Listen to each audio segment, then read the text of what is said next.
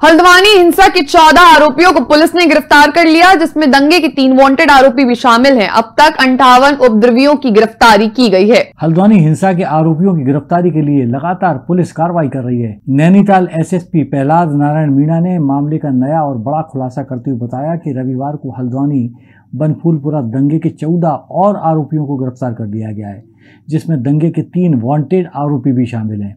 इस दौरान इन आरोपियों के पास से पीएससी के जवान से लूटी गई कार्बाइन मैगजीन भी बरामद की गई है। देखिए जो नामजद अभियुक्त थे, जिनके कोर्ट से हमने वारंट लिए थे। इनमें से तीन अभियुक्तों को आज हमने गिरफ़्तार किया गया है।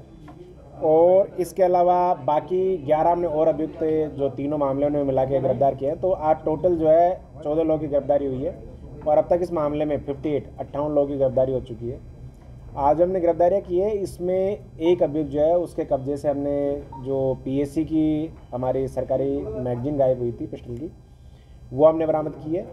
साथ ही जो मुखानी थाने की जो गाड़ी थी, उस पर आग लगाने वाले जो अभियुक्त थे, उनके कब्जे से हमने कुछ ज़िंदा पेट्रोल बम भी बरामद किए हैं और साथ ही इनमें से जो दो अभियुक्त हैं, उनकी गिरफ्तारी की गई है, जिनके द्वारा पेट्रोल बम बनाए गए और जो उपद्रवी उनको पेट्रोल बम दिए गए।